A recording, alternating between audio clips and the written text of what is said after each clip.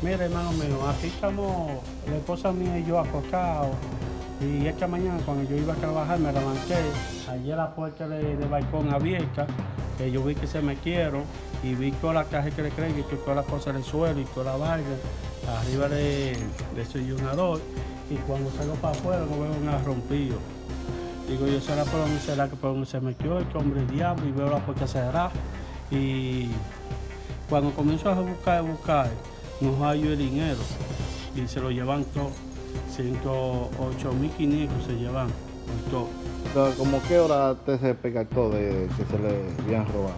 Bueno, hermano mío, si le digo la hora, lo voy a hablar mentira, porque nosotros caímos bien rendidos ahí, porque la esposa mía acaba en Ken en esta semana, y ya con los que eran ocho de ella está bien ahí, y el cansancio mío, no cogimos, no descansamos bien, entonces parece que anoche con el sueño profundo, no, ¿Cómo qué hora No, se levantó y percató que se había metido? a las 7 de la mañana me levanté.